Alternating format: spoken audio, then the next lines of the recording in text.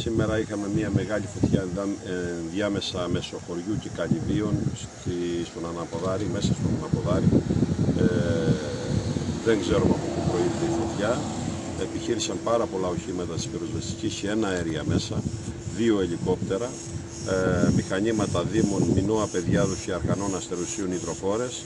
Καταφέραμε σε σύντομο χρονικό διάστημα να την θέσουμε υπό έλεγχο τη φωτιά. Ε, ακόμα αυτή τη στιγμή που μιλάμε τα μηχανήματα και οι πυροσβέστες επιχειρούν προκειμένου να σβήσουν και την τελευταία αιστεία φωτιάς που υπάρχει. Έχουμε καμένα στρέμματα από ελαιόδεντρα, ε, βλάστηση, φυτική βλάστηση που υπήρχε μέσα στον αναποδάρι.